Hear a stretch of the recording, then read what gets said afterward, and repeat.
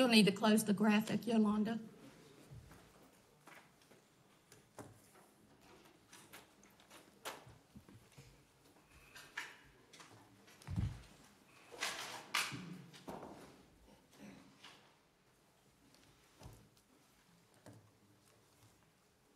Ready?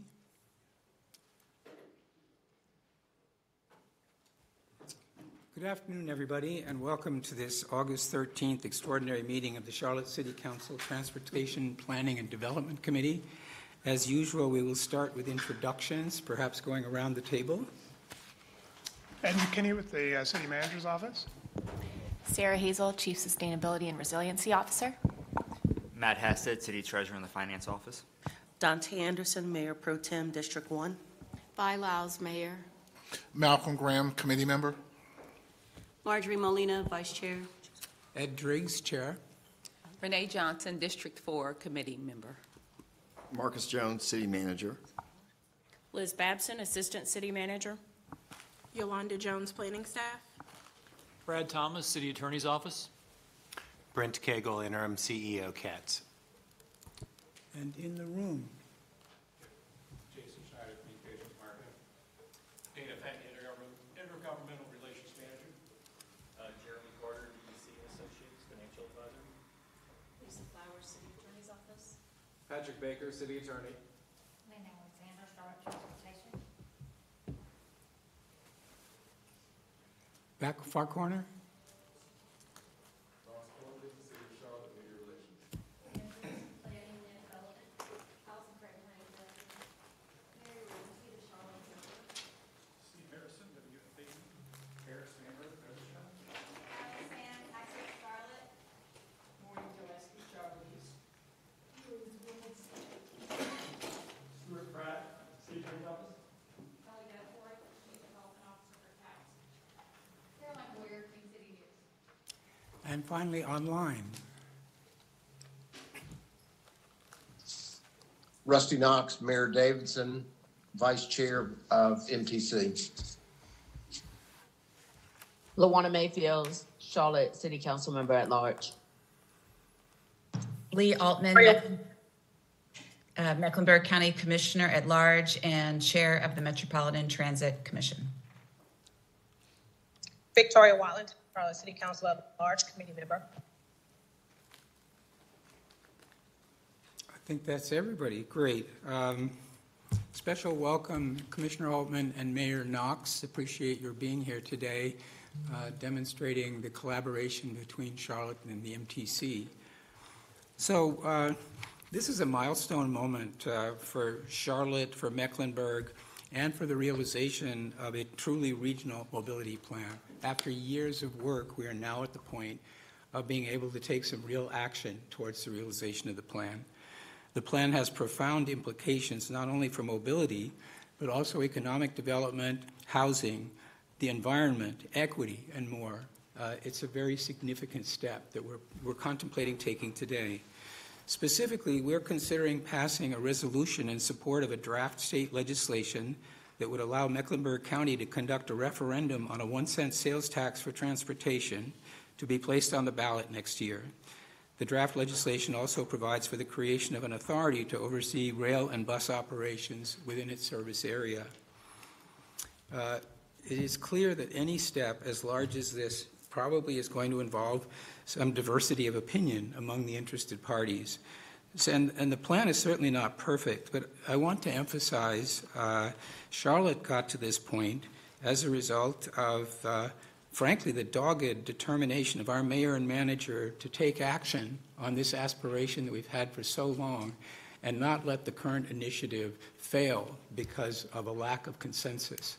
So uh, we had to deal with issues in order to get here. Uh, and I'll mention a couple of them. The northern towns required that plans for the Red Line would not fail again, as they have since 1998. So Charlotte is buying the Red Line property to ensure that we'll be able to proceed with the Red Line. Uh, the legislature made clear in the past year or so that they would not support a resolution that contemplated 80 or 90 percent of the proceeds of the sale tax being spent on rail. So the draft legislation proposes a 40-20-40 split between rail, transit, bus, and roads. The MTC members did require that the legislation provide for the creation of an authority. They also made clear that an authority over which Charlotte had complete control by virtue of its population would not be acceptable, and I think it's understandable. Uh, creation of the authority is, in fact, also in Charlotte's interest. So, the draft legislation includes language creating an authority and giving Charlotte 44% of the board appointments, which is a minority position but twice the number of any other member. And finally, uh, because the large majority of the rail and bus spend is likely to be needed in Charlotte, the six Mecklenburg towns will receive 125% of their pro rata share of the road money. We're about to hear a detailed staff presentation about the proposed legislation. There are two points that I would like to make before we hear that. For one, if we did decide not to proceed with this draft legislation in favor of a different process, I believe it will take us years uh, to get back to this point, if ever. I think we have an opportunity now that may not come again that soon. Uh, and furthermore, I think that all that will happen if we did do that, we will walk down the same road and end up in the same place. It was not an accident that we got to where we are today. It was the result of a lot of input from various parties, without the cooperation of which nothing happens. The second point I want to make is at the end of the day, the public is going to decide through the referendum whether or not this moves ahead. Um, we will need to engage in an extensive program of outreach. But at the end of the day, uh, we have to get to a point where the public is prepared to accept it. So concerns today about whether what we're talking about is in the public interest are, are really not that important. We're going to have to figure that out over the next 15 months. And uh, so with that said, we're now going to hear in more detail about this uh, legislation, uh, and after which there will be a, an opportunity for conveners and others to discuss. And with that, I think I will hand off to Ms. Babson. Or Mr. Jones. Okay, thank you. Take it. Okay. thank you, Mr. Chair. Um, I'll be brief before I turn it over to Ed McKinney, but I think it's important to recognize a, a number of folks who've been working on this project. It's very interesting. There's some uh, people who have been uh, in the city working on this project from the first day in the city, and we're going back to the to the mid 90s. Um, so just, and I'm not saying Brad that you've been here that long, but I do want to recognize uh, some of the folks from Mr. Baker's legal team that have played a part of this. Brad Thomas, Stuart Pratt, Lisa Flowers. From CATS, uh, Brent Cagle, Kelly Goforth, and Brian Nadolny.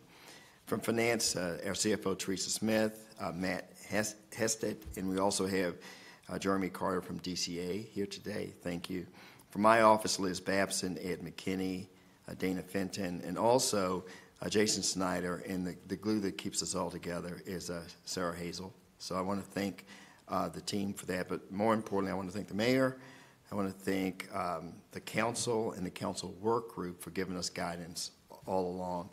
Um, so let, us go. Let's get to it. Okay. So um, I'll tee it up a bit. Uh, this work has been a long time coming, as the chair has said, and not a single part of this has been easy. We've been working on uh, many pieces simultaneously, and now there's an opportunity for all of those to come together. And, and I say all that uh, because it's important. There's a lot of things that this council has been doing since 2020, um, whether it's CAP, whether it's the 2040 plan, whether we're dealing with strategic mobility plan. While the funding wasn't available and still isn't today, you didn't stop working on plans, which is extremely important. So I, I thank the council, the mayor and the council, for keeping your eye on the bigger opportunity, which is achieving a generational opportunities to fund mobility and the needs for a growing city. Okay, there are two critical components that we'll talk with you today about. One is acquiring the red line, and as the chairman uh, spoke about, the uh, legislation authorizing a one cent sales tax. What I will tell you that's as this team has worked over the course of the last uh, few years, uh, we always had these principles in mind. One, protect the city and the city council's interests, and that includes the risk and the liabilities associated with operating a transit system. Uh, also, it's been to safeguard our employees. As we start to think about if this can become a reality, um, our employees would be a part of the new authority. So we want to ensure clarity, uh, employment for our, our teammates, and protection with their retirement system. And uh, I think what's also important is keep in mind that as we start to think about these principles, we also kept in mind the transit riders, which 90% of them live in Charlotte. So those are the principles that you'll hear over and over again, and I hope you see this through the presentation. Okay. With every council uh, priority setting session, you've talked a lot about, uh, uh, we call it three prongs or a three legged stool, which is a, a place to live, a good paying job, and a way to get there. And that's the mobility piece. And we can advance the slide. And um, we think that, again, that that's a part of, of where we are today. I, I think that um, you positioned this in a way, I think, never before as a city in terms of thinking about this, taking time to, to have the strategic mobility plan, taking time to have all of these additional groups, whether it's the Nest Commission or what we're doing with e- equitable economic development, just everything is starting to come together. It's just the funding piece which has been our, our problem. I will tell you this. Um, one of the things is how do we get here? Starting back in 2021, after Charlotte moves in this very room, we talked about um, you directing me to do three things develop a funding strategy, a financing strategy, and a legislative strategy so we could move this sales tax forward. Uh, June 2022, you adopted the Strategic Mobility Plan. Last year, you focused on the blueprint for mobility, and we talk about that from time to time. I don't mean a year, but over 2,000 projects from sidewalks to road networks that um, we have, plans that other peer cities don't have. The peer cities, as I mentioned earlier, they have the funding but not the plans. Uh, we're the inverse. We have the plans but not the funding. I actually talked to Councilmember Graham to get clearance for what I'm about to say. I remember in this very room he said it was like Fantasy Island. You know, we have we have all of these goals and visions, but there's no money. So I think that's that's what's very important about what we're trying to do today. What you did do in this last budget, you reaffirmed your commitment to mobility as a priority. You did it through the, the uh, annual strategy meeting, but also through your recently a- approved uh, CIP. So now on to the red line and, and on to uh, CATS. We've done the work. Brent's leadership has been incredible because CATS is now stabilized. We kept working with Norfolk Southern, and we had a breakthrough last summer where they were willing to come to the table to give us this uh, opportunity that for over a decade has not been uh, possible. At the same time, uh, we worked through the interlocal agreement with the county and the six towns. And, and now, as was mentioned earlier, each of the jurisdictions will have before them an opportunity to look at the legislation and potentially pass a resolution um, supporting it. If that occurs throughout um, Mecklenburg County, and only after that occurs would the legis- proposed legislation advance to the General Assembly. And then the General Assembly would decide whether or not, hopefully in the short session, to uh, give the residents of Mecklenburg County the opportunity to go to the polls uh, as early as next year to see whether or not they'd like to tax themselves in order to have this one cent sales tax and also have some of these investment opportunities that we talked about um, earlier. So, as you can see, uh, it's been a lot going on, um, but we have a pretty big team here today that's trying to bring everybody up to a level understanding of where we are and what the next steps will be. So, with that said, I'd like to turn it over to Ed McKinney.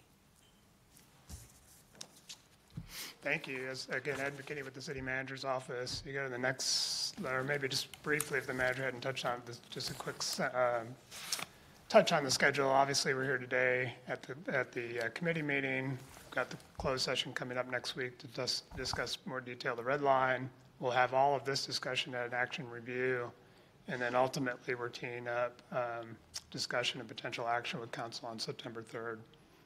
Let's jump into the next slide. So we've got two topics to cover, red line and the draft legislation. We'll start with the red line. What I'll do is provide just some context that will really tee it up for, for Brad Thomas and, and Matt to talk more detail about the negotiations, the status of the conversation on the purchase from Norfolk Southern. If you go to the next slide, um, we know a lot of this, but just it's a couple of points to really remind ourselves about the context of the red line within our transit plan um, historically and where we are today. So it has always been a fundamental part of the transit plan dating back to 98, the first half cent sales tax. A point to be made, and it has been made, that that initial sales tax was intended to be funded, but the funding of the red line was a part of that initial sales tax. I'll talk a little bit about and we, we know some of that story as to why not, but it's, it's an important point to make. And then certainly because of all that in context, it has been consistently the position of the northern towns that that is a fundamental part of this plan and, and their support moving forward is, is contingent on our commitment to the red line as a, as a project. If you go to the next slide, uh, another, another part of that context thinking about historically, we've, uh, we want to sort of think about the evolution of our transit plan over time. If you go back to 98, certainly the red line was part of that, and it's been a part of it all the way through. This diagram sort of represents the sort of evolution of the plan, represented by the, the length of corridors uh, represented over time. So that's, it's changed. Uh, the evolution of mode, uh, the evolution of each of the corridors has changed as the MTC has updated their plan over time. It's clear, though, uh, and again, the point to be made from the northern towns, that the Red Line has always been a part of that plan, and it's always been on the O, line corridor and has always been uh, commuter rail. Other parts of the plan have changed, other modes have changed on other corridors, but the consistent um, point here is the Red Line has always been part of that plan. If you go to the next slide, just to talk about um, what the situation is today and where we face and kind of what the, the, the, unique opportunity we have now with the conversations with Norfolk Southern. Access to the to the corridor, the O line, has always been the obstacle, uh, and we know historically for the last 20 years, Norfolk Southern has been unable really to provide us access to that corridor. In 2013, they actually passed a national policy that said uh, they were not going to share passenger service on any of their corridors nationally. So that, w- that was a really clear statement in 2013. In that same time period, uh, back to the point of the 98 sales tax and the funding of the red line, given that obstacle, an MTC decision was to say, okay, with the funding available, let's move to the next priority corridor. That became the blue line extension. So again, a point there is yes, it had, the red line had always been intended to be funded by the first half cent we faced a significant obstacle in that that decision then got made to, to use that, that funding for the Blue Line extension. What has changed, and again, Brad and, and Matt will talk a little bit about this in more detail, but since 2021, we've been in conversations with Norfolk Southern. Their openness to talk with us about gaining access or, or purchase of the corridor, that those conversations intensified in, in, in just the last year. So we've been in some very detailed negotiations. Brad will walk through that in more detail. We're obviously, as we all know, we're hopeful uh, that that will come to a conclusion here in the next several weeks. The point here, and again, take the big picture and step back. We've been under a 20 year, more than 20 years of trying to get access to the O line. It's been a commitment of the plan of the MTC of the city for sure to have access. We, this is a great, this is an unprecedented opportunity at this point given the conversations where we are with Norfolk Southern, our commitment to the plan. A couple more things on the context for us. Go to the next slide. It's important to remind ourselves about the, the, the value of this corridor, not just of the overall plan, but for the city of Charlotte. So this, this sort of zooms in on that corridor and just, just sort of focuses in on the city of Charlotte portion.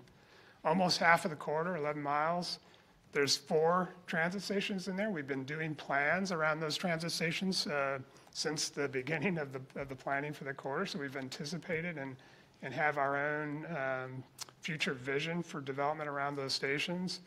It connects to Uptown, right? It's an important part of the regional connection to our major employment destination. Um, you know, the, the sort of the heart of the region and the, and the uh, sort of sports, entertainment, et cetera, as a, as a core, a part of our region. But more, even more significantly, this connection to Gateway Station over the long term. Gateway Station is a fundamental part of our system, the long-term transit system, but it's, it's not just about the county or the region. It's actually, you know, beyond the region to the state, the connection across our rail program statewide, and certainly long-term, the connection of our rail program along the East Coast. So it's, we need to remind ourselves the importance of Gateway Station and the red lines being a, a key part of that. So again, uh, the, point there is just to be made that it is important to us, the city, and it's an important part of our plan. Last thing I'll say before I throw it to Brad, and this, this begins to touch uh, some discussions that Sarah and I will have after this topic around the draft legislation, but we wanted to put it here uh, because it sort of relates to the red line. But there are some uh, key provisions in the draft legislation that relate to red line, so we just want to make that clear. First is sort of project definition. There are some key things that we that were um, included in the draft legislation around essentially the length of the corridor. So it's important to Davidson that if it terminates in their jurisdiction, that they have to be the ones that make that determination. So that's part of the draft of the legislation. And then, as I think we've all known, we've been talking about the potential, and Brad will mention this, of, of extension of the, of the corridor purchase as an option into Iredell County. Same thing, the decisions uh, of that extension will rest very clearly with their approval uh, to do that. On the reimbursement, it's important in the draft legislation for everyone to know that this potential purchase that you will make is codified in the draft legislation. That reimbursement will be part of uh, this plan, the legislation, the potential of a new authority. So it's very clear in the, in the legislation that reimbursement of our investment will be made by this future authority in, um, in, in several different ways, and Brad can talk about that. Last things I'll say, prioritization and design. Again, another important part of the commitment that we made in the draft legislation was to ensure that it will be the first project. And so the commitment there is that it will be underway and, and have to be halfway complete before we complete any other rail project. So projects can happen concurrently, but it's clear in the legislation that red line has to be first and we have to be significantly on our way to completion before we complete any other project.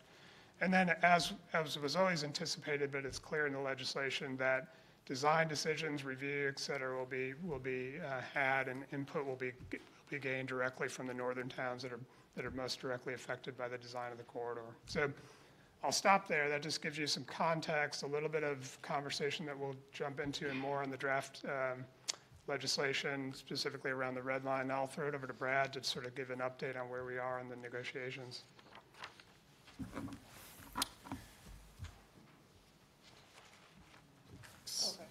Thank you, Ed. I think I'm actually sorry, we're going to go to, to me Yeah, I first. so- Matt. No, no worries. So one thing I will say that I believe, and Brad can sort of go into this a little bit as well, is that I think some of the, the terms are going to come to city council as part of the closed sessions because we are still in active negotiations. So this is a little bit more sort of big picture on sort of how we're able to do some of the, the financing. Um, but this is two properties and two transactions, but it's really one overall sort of plan of finance, I would say. Um, so Chairman, as you said, the city, the MTC, the region, the legislature has really been interested in the idea of an authority. But the timeline that Norfolk Southern has put on us for a September transaction does not allow for an authority to be stood up, the revenue to come in and, and actually sort of be in place. So the city is looking to step in on an interim basis to acquire the O-line and an uptown property at the Gateway Station to allow this to happen. So what we're looking to do is um, sort of make the, the purchase up front. And the way we'd be doing this is looking to do a short-term note um, or variable rate financing for, for basically five years. So this would allow for the legislation to be passed, an authority to be established, and the revenue to start, and allow for an authority to then come and reimburse the city. And the way we're able to, to maintain this, as well as the steady state affordability that has been adopted by the city council, is in the FY 2025 budget with the the out years of the CIP, the 26 and 28 referendum cycles, had identified funding for transit-oriented projects. So what we're able to do is advance that from the 26 and 28 referendums to now. And one of the reasons we're able to do that is we're converting that from what would have been principal and interest payments coming online to the city to interest-only payments for that five-year period and allow for the, then the authority to come reimburse the city. And because of that five-year window and that reimbursement timeline, that affordability would come back to the city long-term. So we're really only looking at sort of that five-year window. Um, So that's a really critical part of the legislation that we're, we're looking at. And it doesn't mean that the sort of affordability would come back in sort of one swoop. It may be sort of over two or two bond cycles, just like it's modeled now. And it doesn't mean that the steady state wouldn't change from year to year as it currently does. So every year, as we're looking at revenues, borrowing costs, those types of things, we refine the, the steady state model. But what we are able to say is, based on this plan of finance, that having this purchase would not have any direct impact on the steady state, steady state affordability that would not naturally be occurring because of the revenue or borrowing rate changes. Um, so that's a, a really critical part there. And one of the, the really important parts of sort of doing this five-year financing is it doesn't lock the city into a 20-year financing, that then we have to find a way to unwind. This five-year sort of financing allows for an authority to be sort of set up and do the acquisition and maintain maximum flexibility for the city and the authority. The, the second transaction we're looking at is an uptown property that is right next to a part of the, the Gateway Station.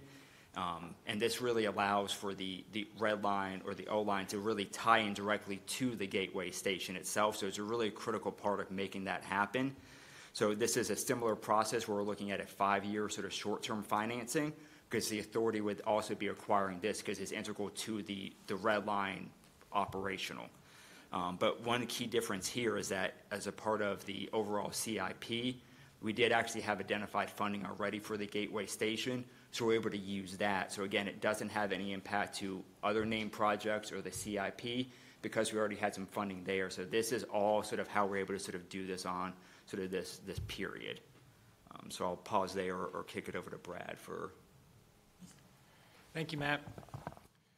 Um, Yeah, so as, as you've heard, um, over the past year, the city has been engaged in negotiations with Norfolk Southern. Um, Those negotiations are for the acquisition of the O-line corridor, uh, the rail corridor that's been owned by Norfolk Southern for many years. Um, The goal of that, of the initial transaction here is corridor preservation. And the city is operating under corridor preservation, which is a FTA-recognized authority. And this permits local governments or transit agencies to acquire right-of-way before the environmental process is complete. It's a tool that um, allows us to, from an, from an early acquisition standpoint, acquire a right-of-way that may be difficult to um, do so later on. Um, So as we're proceeding under corridor preservation, um, I think it's, it's noteworthy to point out that the city has done this before. Um, uh, Actually, in 1997, the city acquired the uptown right-of-way from North Carolina Railroad from 2nd to 12th Street. Um, We also did this in 2003 when the city acquired the R line from Norfolk Southern. In both of those examples where, uh, where the city acquired right-of-way before we had project funding in place. Um, You know, under corridor preservation, um, with that goal in mind here, we are also negotiating uh, for the O-line an option, and that option would be for extending the acquisition into Mooresville, Iredell County. And um, so we could potentially exercise that option down the road and preserve that ability now. Um, In terms of city protections, I think it, you heard Ed speak a little bit about this already, but um, the sales tax legislation, the, the draft legislation does include a provision where when the new authority is established, it, it will reimburse the city for the ac- acquisition costs of the O-line. Um, And that is the plan to, you know, acquire this as part of that whole process. Um, In the event that the project would not advance, there is some language in the agreement, in- in the negotiated agreement now, where Norfolk Southern um, has requested the ability to counter um, any offer that the city would receive, um, should the city uh, make the decision to um, entertain offers um, on the rail corridor in the future. So in terms of this um, ongoing negotiation, um, this is really our closing schedule um, that we're driving towards. And the real driver of this schedule is September 9th, and that is the, the closing deadline that's been mandated by Norfolk Southern. Um, And so our first um, date here is August 19th. We intend to go to closed session and present the material terms of the transaction to City Council. Um, On August 26th, once again, we would have a council action review uh, checkpoint. And then we would aim for September 3rd council consideration to actually approve the purchase and enter into the rail agreement with Norfolk Southern. And then obviously, uh, September 9th is our, is our closing deadline. uh, And so those, those dates are very important in order to make that September 9th closing. Thank you. So if you go to the next slide, we're now transitioned to topic two, which is the draft legislation. So Sarah and I will walk through uh, the key points of the legislation the details of the draft. So I'll maybe start with Sarah.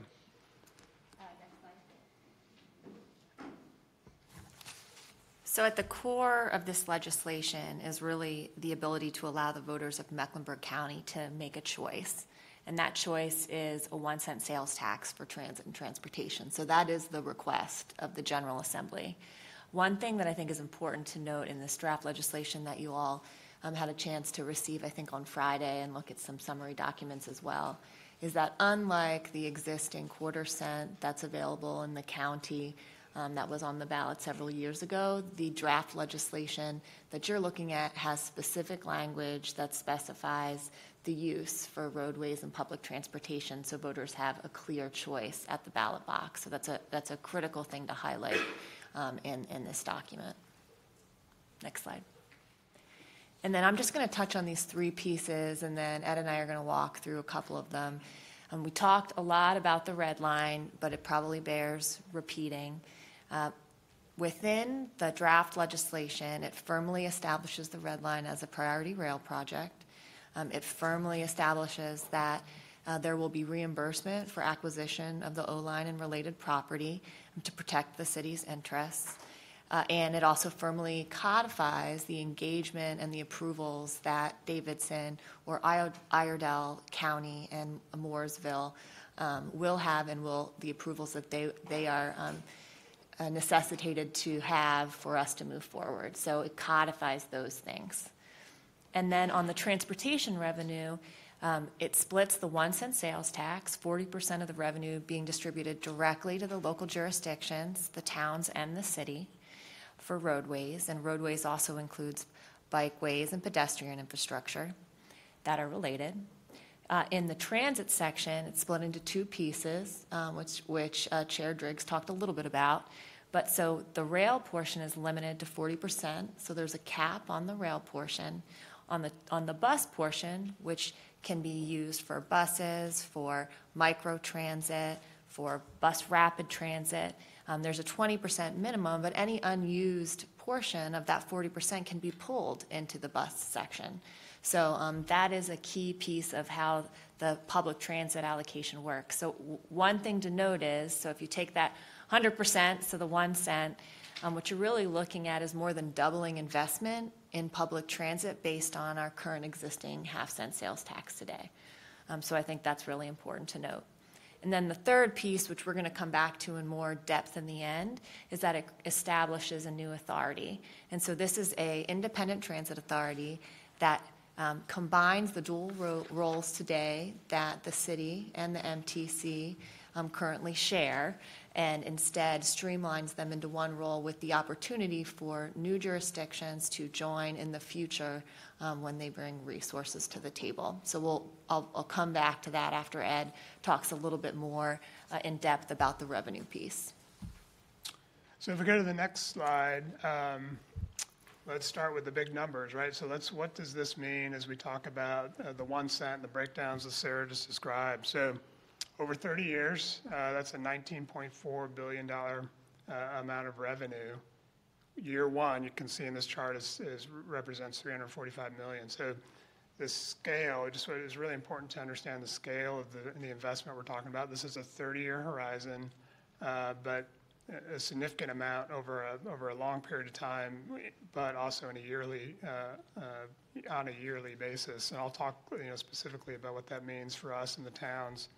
A point here, I also, we, I think it's important that we make, and this is based on a, uh, relatively recent Charlotte Regional uh, Alliance study, which is of that sales tax in the county, around 30% of that is coming from folks from outside of the county, non-Mecklenburg County, City of Charlotte residents. That's the tourism that we're supporting, uh, the business uh, development, um, people that are commuting in and out of the county. So there's, the, the point here to be made is that that shared, uh, that shared cost is part of this vision. And so it's not just our residents, it's not just the county. We're actually taking advantage of a lot of the investment we're already making in our, our, our long-term economic development plans.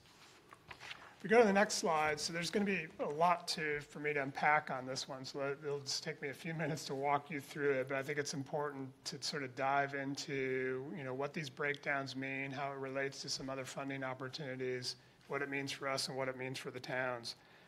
There's a couple of important shifts I want to highlight here. The first one is this shift in thinking from uh, this strategy around uh, a cost-based approach versus a revenue-based approach. So what we're saying now is our plan, our vision is now we're thinking about it from a revenue standpoint. So as I just described, if we get this uh, half, uh, this one cent sales tax, 30 years, that's 19 billion. That's our plan. So our job now is to fit our vision, our plan within that revenue. And so that's a new shift, and it sort of starts to calibrate some of the decisions that we need to make and sort of the priorities that we establish. Those, you know, the projects that we define will have to be matched to that revenue, not the other way around. So again, a, a really important distinction. Second part of this, and this sort of came uh, certainly a bit from the Charlotte Moves work, but also all of the work that we do, city and towns, which is recognizing that this has to be multimodal. And so this revenue and the, the scale of this allows us to dive into the needs that we have across all modes, right? And we, and the notion is we need to balance and, and uh, extend that, that funding across that, that broad spectrum across the board. Obviously, that includes roads. And so the notion here is that road investment, uh, the 40%, is directly uh, distributed to the city and the towns, really to target to their own needs and priorities. And so the notion is it's, it's locally driven, it's City of Charlotte driven. Uh, we tie those to the priorities that you set and the needs that we have. If you look at and across not just our plans, but the plans of the other towns, those needs are diverse, right? And those needs are multimodal, depending upon whether you're in Davidson or you're in uh, Pineville or you're in uh, Mint Hill. The priorities that they have are unique, but they also touch across all the things that we know are important pedestrian, safety, bike, and certainly road congestion. So, again, I want to just make the point that that investment is tailored to the vision of us in our in the local towns of the county, and it really crosses a broad spectrum of investment from a mobility standpoint, not purely road congestion necessarily.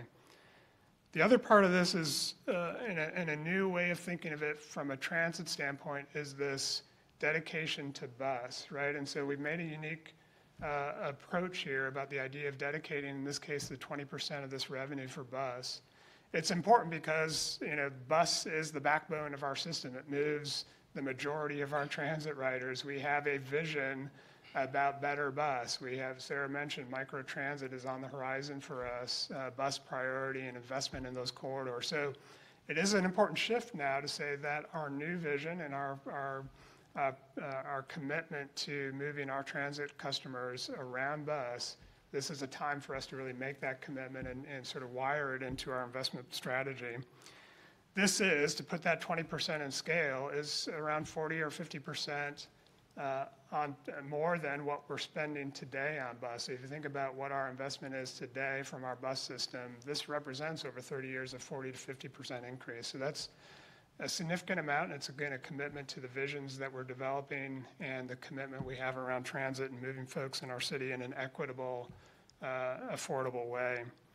And then certainly the sort of the big topic here is this idea of a limitation on rail. And so absolutely, um, that's part of this strategy, but it's for a number of factors. One is certainly what I've just described, which is it's a multimodal approach. We recognize that we, the city, the towns, we all have road needs, and so that's part of this funding strategy, this dedication and commitment to bus. So those things come with then the need to sort of define what that rail investment will be, and that's sort of how we landed.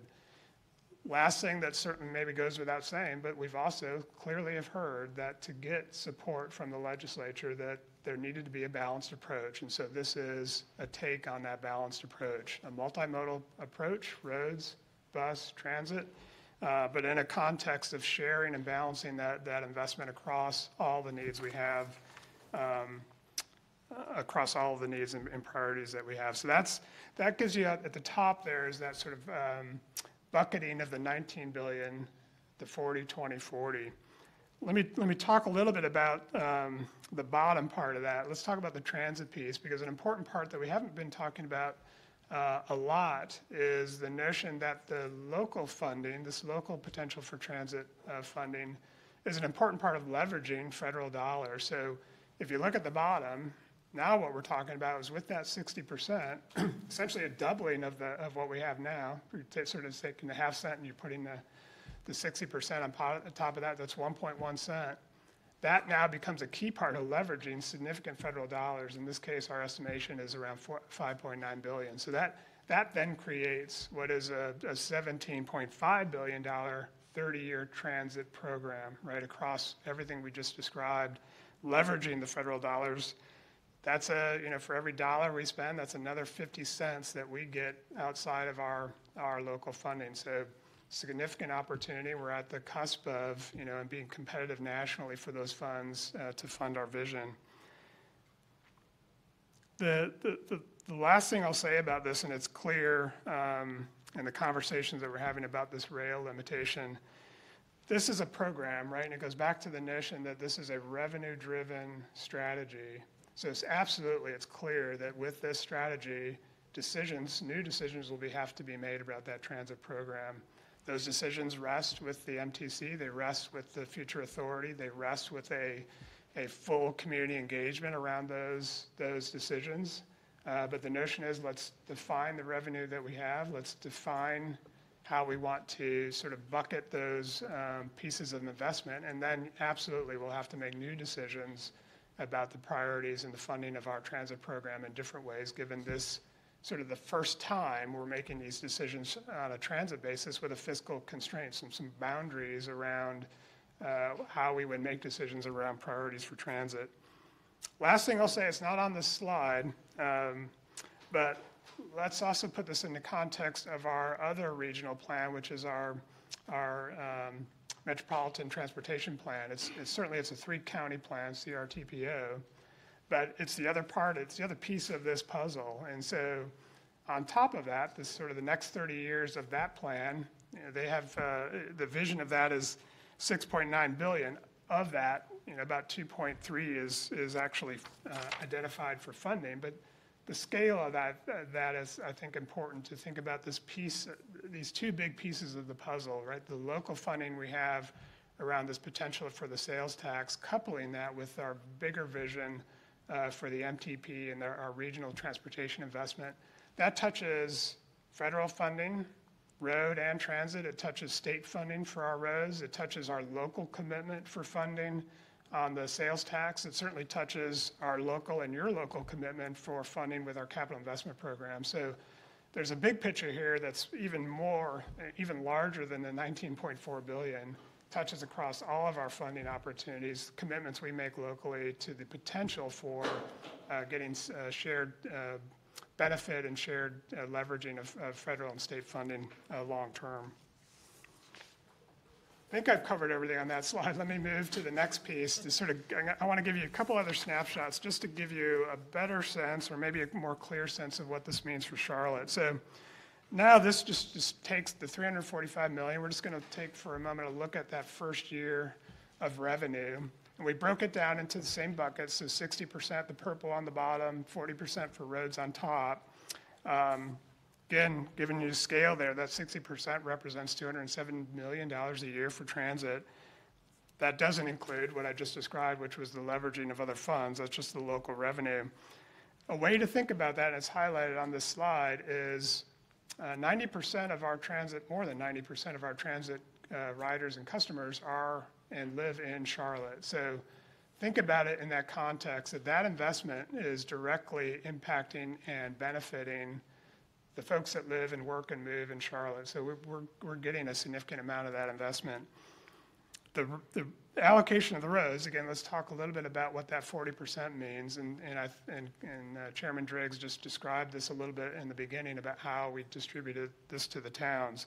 So let me, let me just spend a moment on that. So what we've done is created a couple of ways to calculate that and kind of um, define how we would equi- equi- equitably distribute those dollars. So it's based on a proportional share of the local road miles of all the different towns. It also uses what's called the Powell Bill methodology, which is a sort of a combination of both local road miles and population. So there's a, a couple of ways, depending upon which benefits the most for the towns, you could use those two methodologies. Sort of very specific, it's driven by sort of state, already defined state methodology. So we sort of rested on a very specific way to calculate that.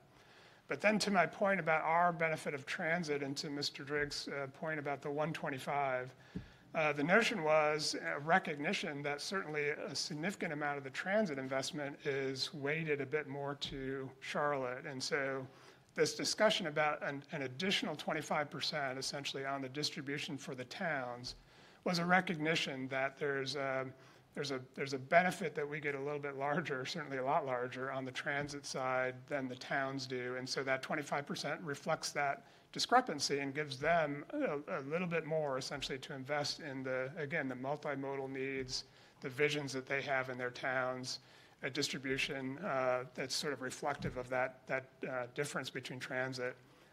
Take a big picture back though, that, that, that gets a lot into the weeds, but I think it's important to sort of take a step back.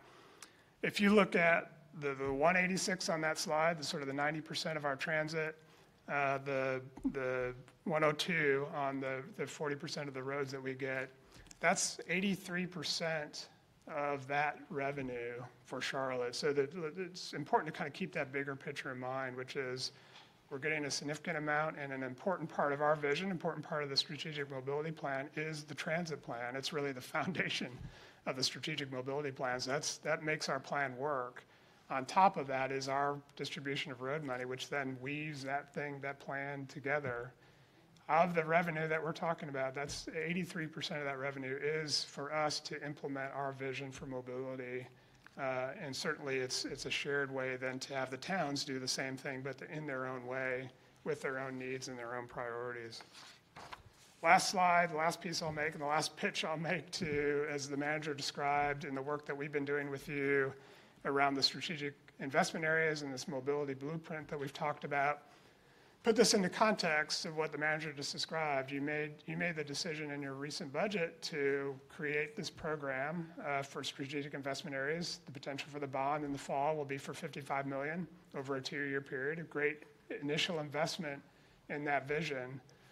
But again, take that 102, multiply it by two over the same bond period, and you've got, you know, $200 million on top of and, and scaled to the initial investment that you made. That's a that's a unprecedented scale. It's almost four times what you've already committed to in the capital program to implement everything we've been doing uh, for the last several years, building on the comp plan, building on our strategic mobility plan to really invest. So it's it just it was important to us to give you that context. There's a lot of numbers here. There's a lot of different ways for us to share and cut and show you how this distribution works. But there's there are a couple things we really want to emphasize and put it into scale with some of the decisions you made around mobility uh, just recently.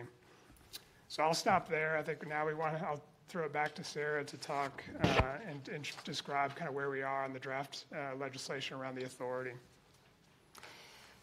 So the next evolution with the significant funding that Ed was just describing is to adapt the governance structure to bring it into the future, um, akin to what most large cities uh, have, which is an independent transit agency governed through an independent authority. Um, but the point I want to make with this slide is just that it's not a new concept. Um, back in 2004, UNC Charlotte did a study uh, which recommended that an authority is really the governance structure of the future. um, you know, over the past several years with the conversations around Connect Beyond and Centralina and how we really truly look at creating a structure that can be even more regional um, into the future. Uh, the com- conversation about a transit authority has been front and center. Um, and beyond that, uh, through the work that management partners did to look at CATS several years ago, um, one of the key findings that they that they discovered was that the current structure was um, was a bit confusing for, for staff and for the public, and that a streamlined structure would be really important moving forward, especially with additional funding. So if you think about um, why we're talking about this now and paired with the conversation uh, around the additional funding that's embedded in this draft legislation, it really is that, you know, before 1998, um, CATS didn't exist. The city had a, had a department. It was a transportation department. The population was 600,000. Now we're talking about 1.2 million. We're talking about paratransit service, light rail, streetcar, bus, microtransit. Um, and, and this really is the, the moment to, um, to evolve the governance to meet the opportunity with the additional revenue that this draft legislation affords.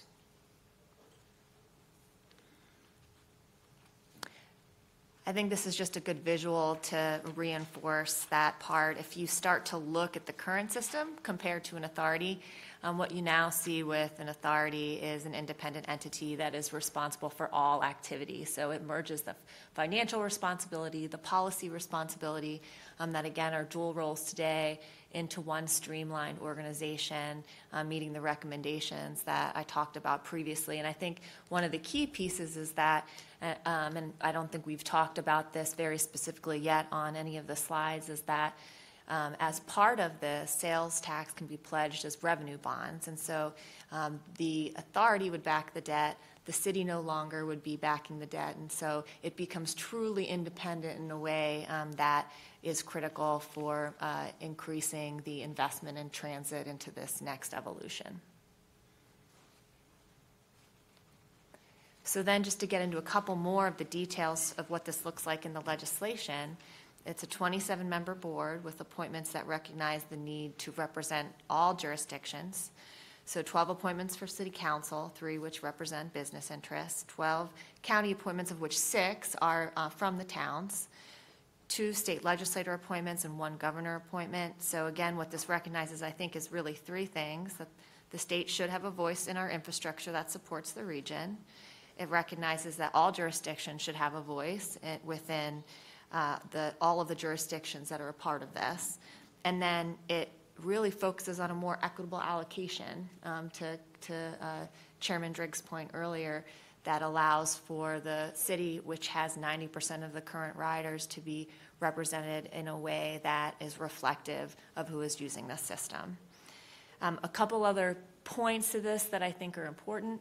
Um, it then merges the, the half cent with the new uh, point two and point 0.4, um, so that it is again over doubling the investment in public transportation. It allows for regional expansion so that when a jurisdiction, a county that is uh, neighboring us is interested in joining, um, that there is an opportunity to do that with resources, but it also protects the city back to sort of the protection piece um, and, and the existing members in Mecklenburg County in that a supermajority is needed to um, bring new folks in and to then clarify what the voting structure would look like at that time. Uh, the creation of the authority is defined in this legislation. Um, it's created by the county, and then it specifies a series of events that need to occur, including um, studies, reports to all the jurisdictions, um, to support a really responsible transfer of um, operational control as well as debt and assets to the new authority in a way that, um, again, both is um, mitigating the city's risk and being responsible, but also setting the authority up to be successful to serve the residents that um, are counting on this service. Uh, And then I think the final piece uh, that I'll just highlight is that a supermajority is still needed for any of the changes to the bylaws, um, in addition to bringing in new members of the authority. So that's an, that's a uh, additional protection, and I just wanted to, to highlight that in addition to reinforce the point that CAT staff would transfer to the new authority and that there are protections around benefits carrying over um, that's codified into the draft language. So I think that covers it. There's a lot of information there. We just put up the slide here to show um, kind of what the schedule looks like. I don't know if we want to throw it back to the manager to wrap it up or go back to the chairman. Thank you all. Uh, I have to say, I think the dedication and professionalism of the staff in this work has been extraordinary. I hope everybody appreciates the quality of what we just saw. And Ed is one numbers guy to another. That was good. Okay? Uh, I'd like to open up now for comments or questions from the committee, and I guess we'll start at the end. Sir? Go ahead. Uh, Thank you, Mr. Chairman. Uh, This kind of reminds me of my first campaign when I had two speeches. One if I lost and one if I won, and I lost. And no one, and no one cared what I thought after I lost. Um, It just demonstrates the complexity from my perspective of what we're dealing here with, for sure. Um, I served uh, 10 years in the North Carolina State Senate, uh, representing Huntersville, Davidson, and Cornelius, and University City. Um, I'm- a current member of the Charlotte City Council um, times two, so I've been here for a while and understand the history uh, of public transportation, um, commitments that were made. I chaired the Senate's Transportation Committee um, uh, when we were trying to ensure that we got the matching dollars from DC as well as in Raleigh. So I, I kind of get what we're trying to do here. And I'm a big picture guy. And, and I don't say that to, to um, talk about my resume or how long I've been here, but to, to demonstrate how I'm looking at this, right? With a, a different perspective and a, a different lens for sure. Um, I want to thank all the regional partners who have participated and those who are on the line. Um, I respect their jurisdiction uh, and their ability to act on the best interests of their communities. Whether it's Huntersville and Davidson and Cornelius talking about the long-waited red line, O line for um, the expansion of their public transportation to Charlotte, or Matthews and their commitment to um, a resolution that they submitted last night for uh, their position on this issue. Or even Mooresville, which is not a part of this county, that uh, has um, a interest in what we're doing. They all are fighting for the best situation for their particular jurisdiction. Uh, and I sit here today fighting for Charlotte's best interests for our jurisdiction and our long-term goals and objectives and our place uh, in the region historically, today, and where it should be tomorrow. Um, I, I still focus on the day-to-day operation of the system, which is going on as all this is happening around us. Uh, the employees of the system who are really not employees of the city of Charlotte that works for uh, another agency, right? Uh, the ridership that 90% of those riders are based here in the city of Charlotte, and um, and how we manage all that. And so uh, I'm here talking about Charlotte and and from a big picture perspective in terms of our place in the region. And I, I want to thank Chairman Driggs for indulging me for the last couple of weeks uh, in our conversations. Obviously, the mayor uh, for her leadership um, going back to 2019 when I got back about how do we uh, tackle regional transportation. Um, Brent and CATS, the mayor pro tem, all who have engaged me in, in conversations over the last several weeks and months in reference to uh, this topic. And so I'm going to try to be as succinct as I can be, Mr. Chairman, um, um, without being redundant, um, and to kind of share my perspective from where we are today. Um, I responded to an email that the manager sent to council. I think he sent it on July 17th. I responded on the, the 23rd. Um, and um, I thanked him for his leadership. Um, I thank him for representing the city of Charlotte with distinction with his peers across the region um, and congratulated him on the progress that we were making uh, moving forward, but I also pointed out some concerns.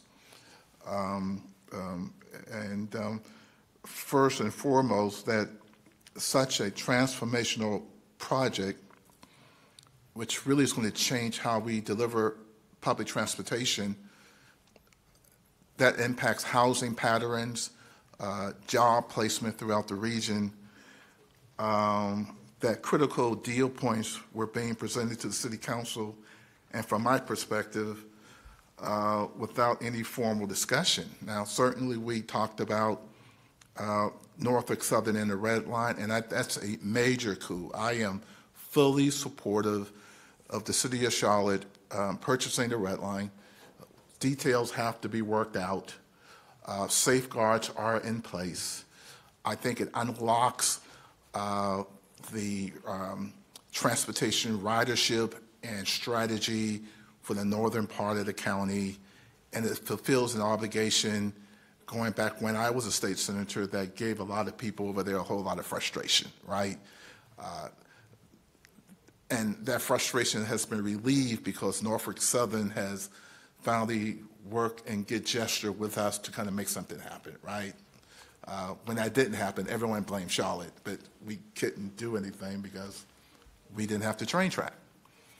Uh, and so I, I, um, I, I, think that's a, a huge accomplishment, uh, not only for the city of Charlotte, for the region, and it should be pointed out that we are paying for it all. I don't think Mecklenburg County is contributing, or Davidson, or Pineville, or Matthews, or Mint Hill.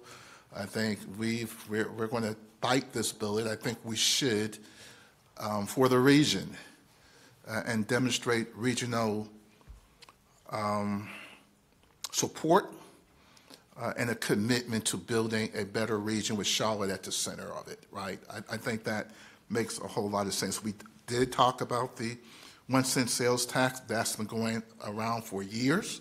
So that is no surprise to me or anybody else. Uh, and the ability to attract federal dollars that match that, right? Which is huge, huge deal. Uh, and in a political environment that we don't know what's going to happen in November, whether or not those funds are going to be there, we hope no matter who wins that that people view public transportation, how people get back and forth to work, our roadways, our highways, that that transcends partisan politics, right? That is just for our good for our country, our nation, uh, and certainly for our region. So I'll say that. But we didn't talk about an authority much, right? And you know, I don't want to get off about this authority thing, but there are certain certain hurdles that we have to clear even before we get there, right? The hurdle of um, getting the General Assembly to, to accept it and then vote for it, and then the hurdle of coming back home to get Mecklenburg County to put it on the, the ballot, uh, and then the last hurdle of getting the voters to approve it. So there's a lot of work to be done before we get into the logistics and the details of, of an authority, right? I support an authority. That's our future. I also support consolidation. I supported it in 1995 around this table when we said no. Uh, I thought it was a good idea then, and I don't think it's a good idea today. But this is short of that, creating a regional authority where we're all working together, talking to each other versus at each other, building our future together is in the best interest of the region. I just think there's a, I think that's, there's some process steps that, um, that maybe we went too far in terms of defining it and outlining it and for my taste. Um, I voted no for the interlocal agreement. I think I was the only council member that did, and had less to do with, um, was, was in the agreement. It had more to do with process. Uh, I had process concerns then in June. Uh, I have process concerns now. Um, that we are not bringing the council along with us, uh, and therefore the community at the same times. Um, we, we got to create an environment where if we're going to do this together, that we don't create winners and losers. The folks in northern towns are happy. Uh, they- they, get the red line, uh, they get possibly road money as well. Uh, and our colleagues in Matthews feel that they're being left behind. Uh, I do have a vision for East Charlotte, um, which included transit, not buses.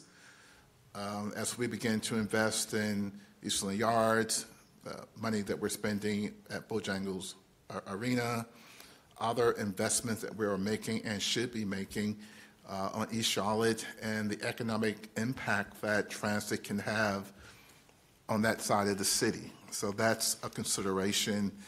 Um, And I did take the time to uh, not only listen to the town of Matthews meeting last night, uh, I got a hard copy of the resolutions, uh, and I, um, I respect their right uh, to, to voice dissent um, for their jurisdiction. Um,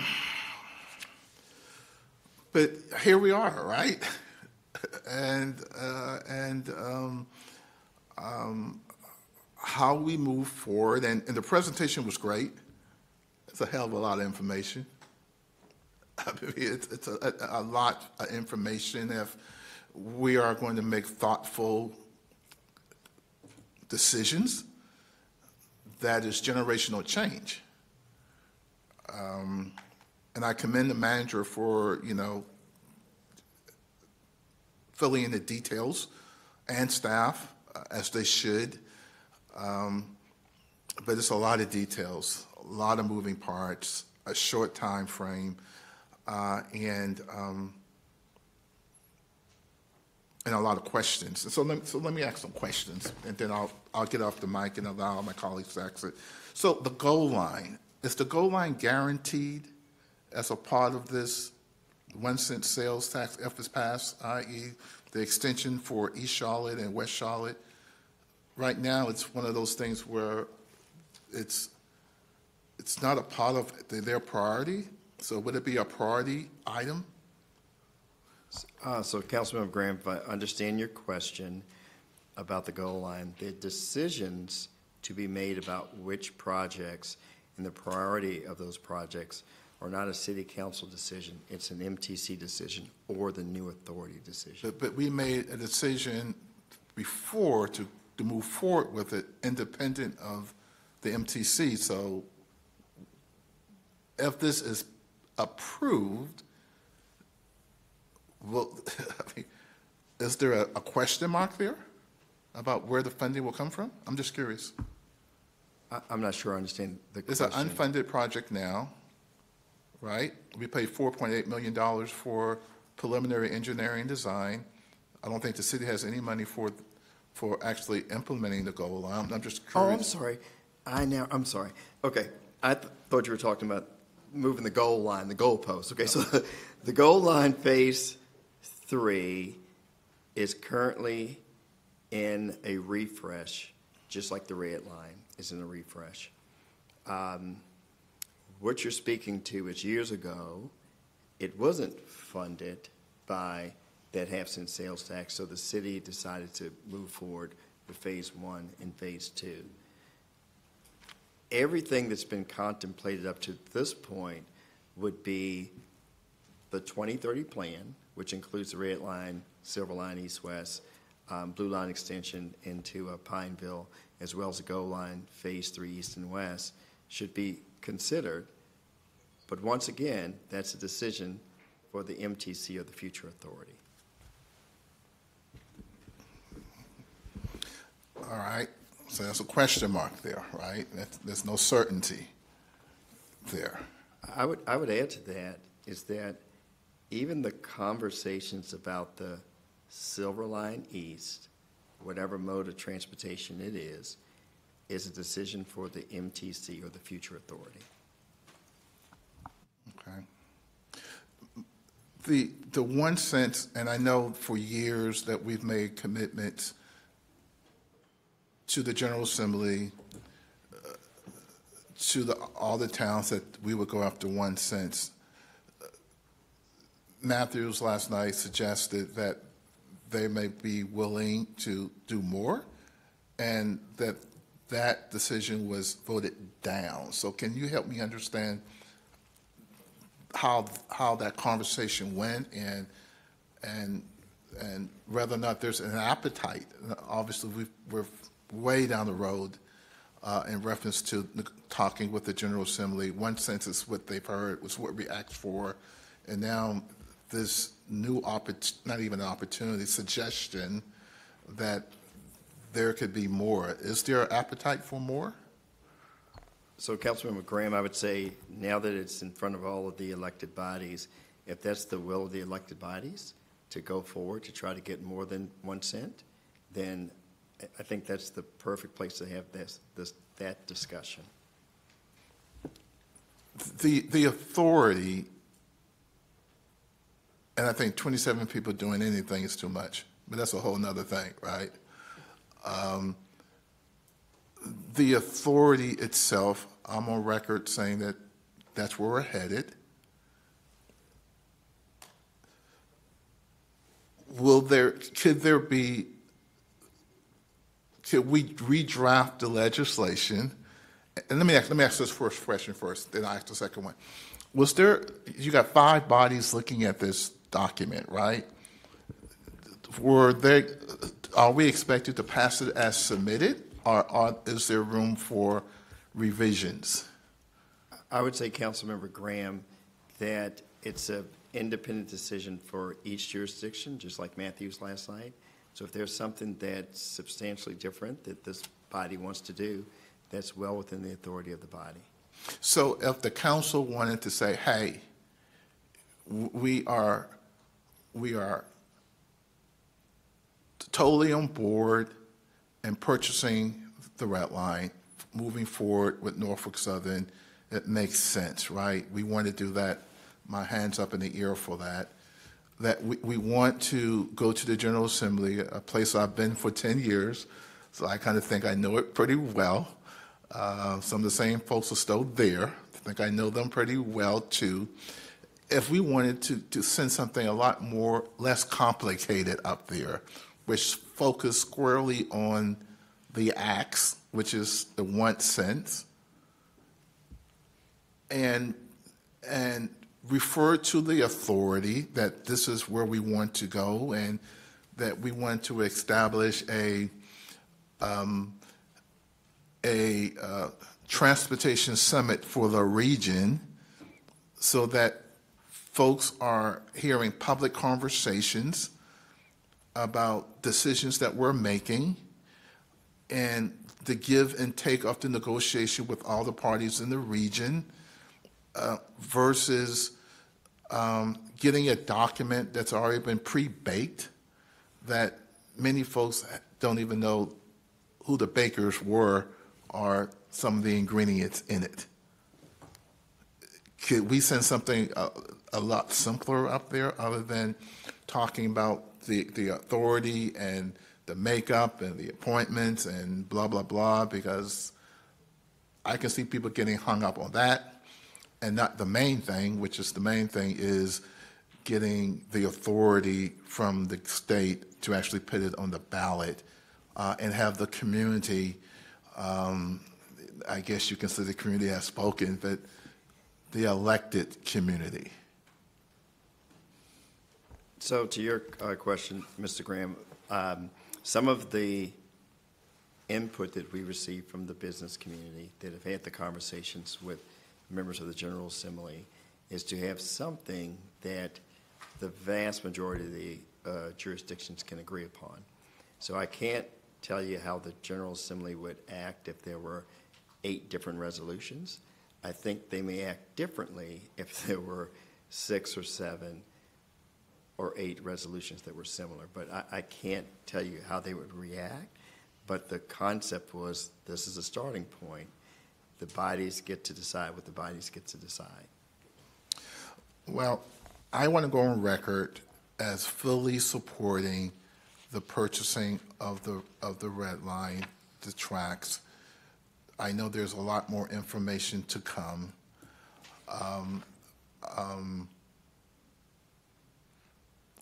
and, and, and, and then uh, uh, the, the legislation, I'm still struggling. And uh, I talked to the chairman today, talked to the mayor pro tem today, conversation with the mayor, uh, Ms. Johnson and others, and I spoke. I'm, I'm struggling. Um, I'm struggling. I'll just leave it there. Thank you, Mr. Graham. Ms. Molina, I'll just go right down the line, if that's all right. Uh, Thank you, Mr. Chairman. Um, I, man, how do you come behind that?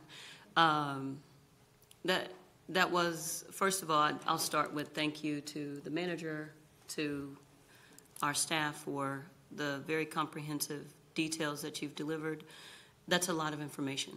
Uh, It's information that we understand because we're involved in the process, but now it's to attempt to try to disseminate that to the people that we represent. That's going to be a little bit more detailed and, and um, trying to make it make sense for the interest of what someone may or may not be concerned about. So um, there are a few things that come to mind for me as I think through what this means. Um, I'm a multi-generational North Carolinian, um, and I've lived in Charlotte for half of my life. So I've seen our city blossom um, into uh, something that I'm actually proud of, at home and away. When I get the opportunity to go and represent us, I feel proud because people see things outside of us that we don't see inside of ourselves. It's almost like trying to motivate someone and, and have them see the, the beauty that is them. You know, I tell somebody I'm from Charlotte and they're excited and they got questions and they want to know about our initiatives and, and things of that matter. Um, but uh, what comes to mind for me initially is is the fact that something you said, Sarah. You said in 1998 CATS didn't exist, right? Like CATS as we know it didn't exist. We had a transportation department, um, and and that was it, right? So now we have CATS as we know it, and um, I actually did the liberty of digging through who was representing us, and I, I looked at like the diversity of thought of the people who've made decisions since 1998, right? So I found that in, you know, the 1998 council, we had a fully split council. It was actually majority Republican and minority Democrat.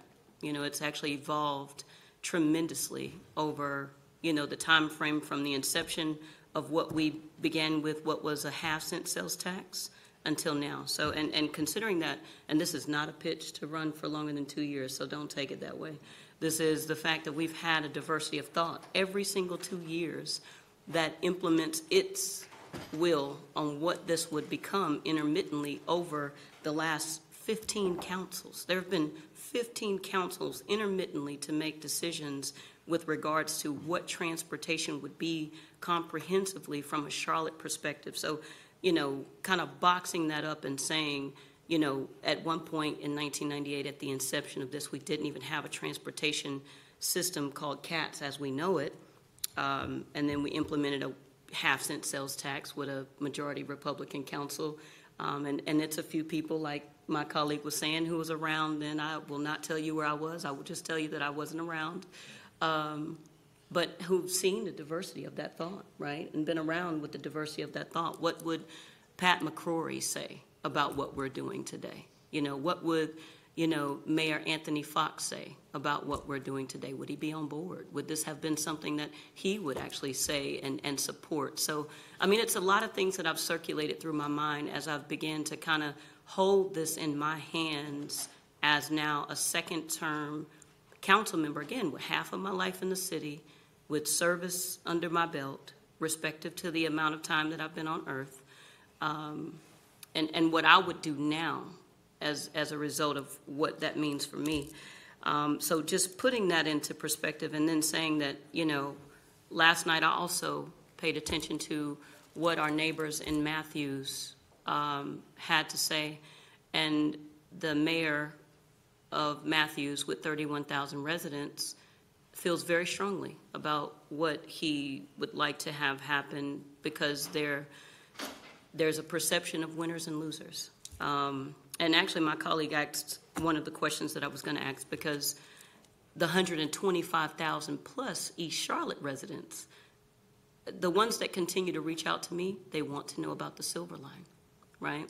And so, you know, I, I wrote it down, you know, what has changed as far as the Silver Line is concerned? And my colleague answered, or he asked that question for it to be answered. But I think there's, there's something also, before I ask any questions to staff, I think it's something that I want to propose to the people that I represent in East Charlotte, right? I think about what the blue line is right now. Blue line, and, when I when I hear what the people that I represent are saying to me, they're saying if you don't give us light rail, we don't get that economic impact that comes as a result of light rail, right? And if you take that away from us, how do we then get the econ- economic impact that other places are going to see as a result of them getting light rail, right? And that, that's always the question that's going to be front and center. That's always going to be the thing that people are grappling with when you think of what's coming east and what's not. Can you do that with bus rapid transit? That's a big question. Um, but, you know, I think we have to ask ourselves in East Charlotte what is the right type of development for us? What does it mean for us in East Charlotte?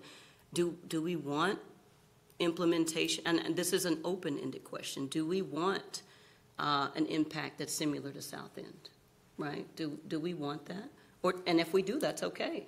Right? And if we don't, what is, what is the right impact that we're looking for that's going to give us the economic emphasis that we need as East Charlotteans and respectively Matthews and Mint Hill because they're next door to us.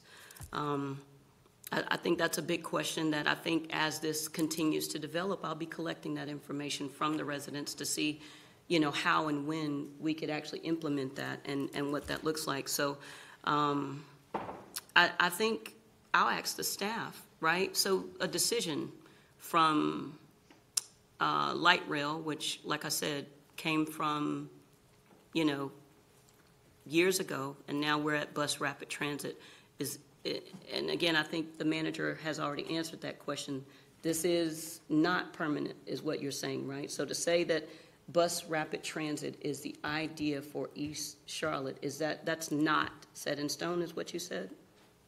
Yeah, and I, think maybe I'll, I'll turn it over to, to Brent also. I, I, the, the key is the decision about the prioritization of rail projects. The 2030 plan does not reside with the city of Charlotte. It resides with the MTC or that future authority. But Brent, if I've misstepped, you help me out.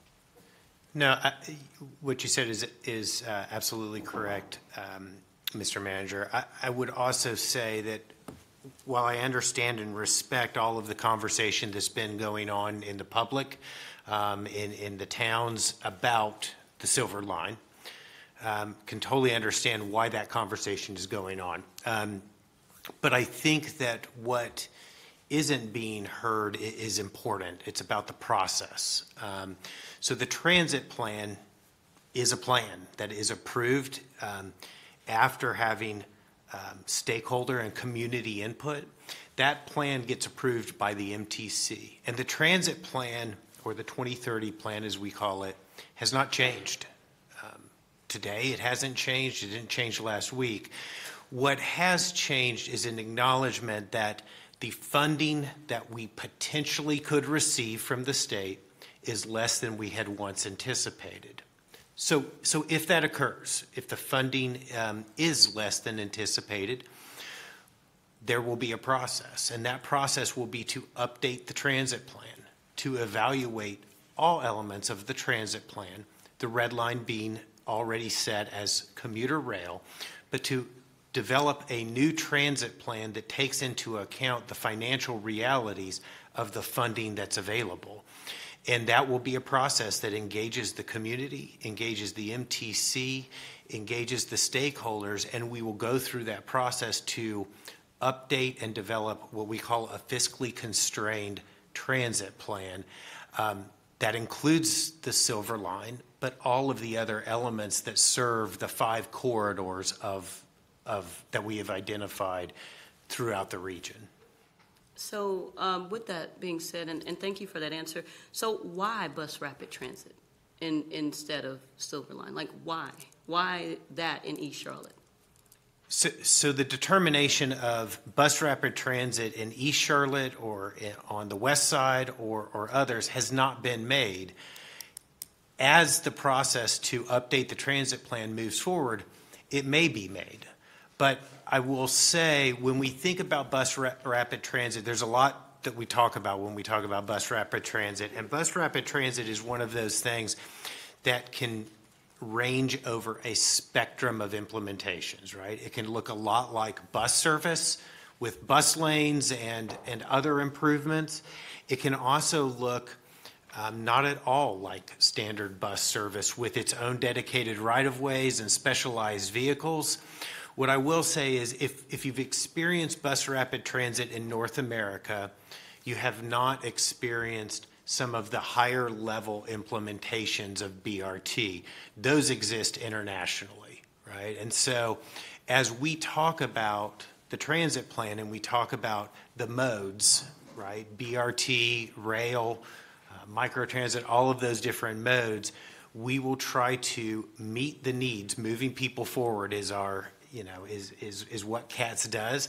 So we will look to meet the transit needs of the region in the best way that we can in a, in a financially, in, a- in a way that meets the financial realities that we have, the funding that we have. And all of that will go into the decision-making process that the MTC will have as they update the transit plan. Ultimately, that updated transit plan would then be recommended, as uh, Mr. McKinney stated, to be part of the MTP or the Metro- Metropolitan Transportation Plan that uh, is the, is the purview of the CRTPO. So, and, and so what I hear you saying is that, you know, um, I guess transit-oriented development, something around the orientation of development is what's going to influence the decision. But how can we be sure of that? Like, we're going to really give this inform, we, we, and this is what people are gonna ask me, right? When, when this is over, people are gonna ask me, how can we be sure of that? What's in it for us? Like, how can we make sure, especially for CATS, for an example, right? So right now, we're going to take something that is housed under the city of Charlotte that now we have the ability to make determinations for, and we're gonna hand that over intermittently over a five-year period to an authority, is that right, or is that wrong? I see you shaking your head, is that wrong? I just wanted to say it's the MTC, it's not the city of Charlotte. Currently, the MTC does have authority over setting the transit plan. That is something that is inherent in the interlocal agreement, has been since the beginning, um, as part of their responsibilities for setting policy around transit. The, the other thing I will say, it- clearly, um, from a CATS perspective, we, um, transit-oriented development and, and what transit can create as far as that development is, is important, um, is- is, very, very good. But our primary focus is to move people, to provide transit to the community. And I will say, whether it's light rail, um, all of the modes are important to create mobility across the region. There is not one that is better or worse when it comes to the entire mobility picture. They are all part of that and, and are important as we think about our primary mission, which is moving people, is getting people throughout the community, giving, giving them mobility options throughout the community. Okay. So, I mean, I, like I said, I, I, I know that this is still, from what you're saying, very malleable. I got maybe one or two questions, Mr. Chairman, if you'll allow me. I Um, just wanted to acknowledge the manager. Yes. Thank you, Mr. Chair. I want to make sure that something that doesn't get lost in translation. So, um, I think Ed said it earlier. At some point, there needs to be a fiscally constrained plan. And that basically means you have so much money and you make the projects fit the money. Up until recently, it hasn't been that. It has been a vision, and it's just a bunch of projects. So the moment that the directive or the information we received to move this thing forward, because it had been in neutral for years, because ninety percent was dedicated to rail and ten percent was roads, or eighty percent was rail and ten, and twenty percent was roads. Um, and the signal we received from Raleigh is no way. In that 80-20 split, it was more reasonable that all of these projects could be funded like they are in the plan. What I will say to you is just, it's just math. If, and I- I'm just going to say it, if the Silver Line East is, reps- represents about half of the cost of the, all the rail projects, and you've changed the, the funding mechanism from 80% to 40, something is going to give. But what I'm saying is it, it's not staff's determination of that. We would have been disingenuous to say, oh, at 40% you can pay for it all. You can't. But that decision is going to be made at, at some point by the MTC or the authority. But all we were trying to do is say, if the directives where you must do the red line, and you have to substantially, significantly change the rail portion, this plan cannot be funded as it is today, whether you do value engineering or you do some things fall off. That's all we were trying to, to say to you, is you can't have it both, if, if that's And- fair. I, and I think I understand that well, Mr. Manager. I think the question becomes, and actually you bring up a good point, because I even wrote that down. Um, who was a part of making those decisions? Because what, what someone who is living in East Charlotte or Matthews, they're going to say is, someone chose winners and losers, right? Someone said that East Charlotte couldn't be included. Who was involved in, I guess, the creation of what we're looking at right now? Who were the Ms. stakes? Uh, sorry to interrupt, but I've been advised by Ms. Johnson that she has to leave in a few minutes, and I would love to give her the opportunity to speak for a couple of minutes before she goes. Do you mind if we come back to you? She has Oh, to go. sure. Thank you. Thanks. Go ahead. Thank you. I really would love to hear from the representative, and I'm, and I apologize, council member, but this is, this has kind of been the process. So, this was on our agenda from four to five-thirty, which left council thirty minutes to discuss this very, very, very important subject. We've been talking about the Silver Line and an authority for thirty years. And council has 30 minutes on the agenda to discuss it, and then 30 days to vote for it. My challenge with this is transparency. My, uh, Councilmember Molina was asking the questions, who made those decisions? We can't answer those questions.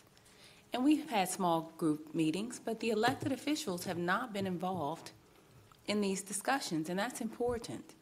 And I had the honor and the pleasure to watch the Matthews meeting last night, and I don't, not only do I respect Mayor Higdon and the Board of Commissioners, I applaud them. I applaud them for standing up for their constituents um, and, and standing up for, to do what they've promised for a long time. I do have some questions.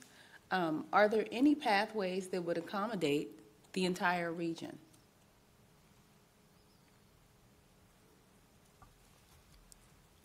If you're uh, suggesting the 2030 plan, the rail, more revenue, Okay. So like Councilmember Graham said, perhaps we should discuss the 1.4 cent sales tax in order to uh, accommodate the uh, the region. I support the sales tax increase. I, I championed the infrastructure discussion. I know we need funding for that. But, you know, we don't, I don't want to be a part of a council that selects winners or losers or makes a, what feels like a short-sighted decision. The- These are the, this is the logic that unintended consequences are made of. Um, How much, and these are, some of these questions are from, from the meeting last night. How much has been spent on the Silver Line Plan thus far? Approximately, so I will need to get you an exact number, but I believe the original contract was for approximately $50 million. The design contract or the, the planning work.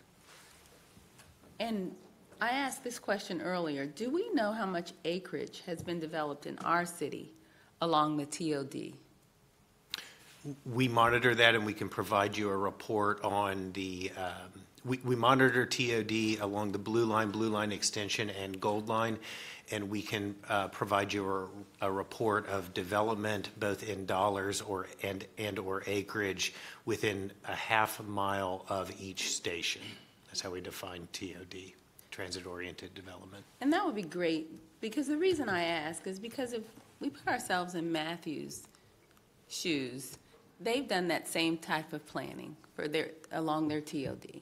And they've planned for the Silver Line, even the, the plans for the, the east side included this type of um, transportation or this type of improvement. So I, like Councilmember Graham, I, I want to see this, even the uh, authority, I understand we need to move fast, but it's the process and the, the lack of transparency for me that I'm challenged with. There's not been any public um, discussion, and I think that they really need to be engaged. And, I, and I've asked you, Mr. Jones, you know, why now? What's the rush? So I, um, that's where my concerns are. Um, and, and I'd like to see a solution that includes a collaborative approach. If we're collaborating, I, I just don't understand the concept of when we get to a certain point to to change plans and someone on that team just just got to drop off and and and we don't stop to try to en- encompass or include uh, everyone. I think the city is, is growing so quickly that there's not a lot of affordability in our city. We need to capitalize on, on regionalization and do what we can to protect that. Um, we'll, we'll look back. This is a multi-generational decision. It's, it's an honor to be a part of. And I think we need to really move slowly, deliberately, and be intentional about equity and, and inclusivity, which includes the entire region. So um, I don't, I'd like to ask what the process is for today, because I do have to leave. It was on the agenda until 5:30. So what is the process for today? So I think what we're going to do is uh, hear the remainder of what uh, Councilmember Molina has to say.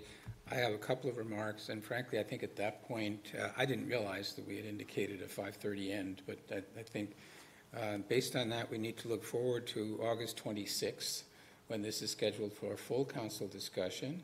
We've heard a lot today to think about, and I think we'll need to come prepared to respond to what you've said, what Mr. Graham said, Ms. Molina. Um, And uh, key thing was for members of this committee to get this information in this detail at this point in time. Our goal is to try to have the committee vote on this and make a recommendation to the full council, but not today. Okay, All right? thank you, All right? thank you, thank you. So uh, we need to try to wrap up, but you I'll, I I'm will, I'll try, I'll try. Okay, so I, I got one that's actually kind of pressing. So I know that Austin, they allocated a portion of their funds uh, for anti-displacement for their rail plan. Um, Are we able to do that? I think it was like, uh, they, they allocated a portion of their funds to, you know, kind of mitigate anti-displacement when they did, you know, their rail plan. Is that something that we can consider? Is that malleable? Yeah, so it, it's been a while, but Austin had a, um, I think, uh, maybe an eighth of a cent of, uh, property tax and, and a bunch of different pots that they had to, um, try to implement their plan.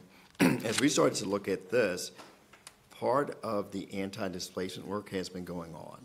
So just think about it, there's a $100 million bond for housing that'll be on the ballot in November, as well as the work from the Nest Committee and the Equitable uh, Development Committee. So there have been a number of funds that have been pushed in that category, not connected to the sales tax, but still funding sources.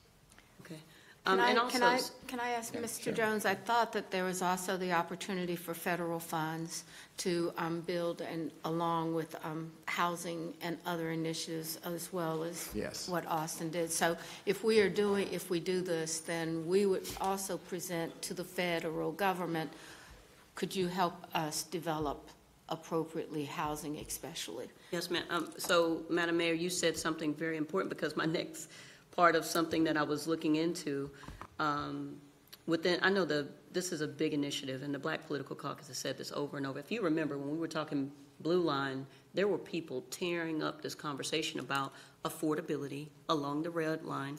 When you're talking about urban planning, these two things are inextricable, right? Affordable living along transportation.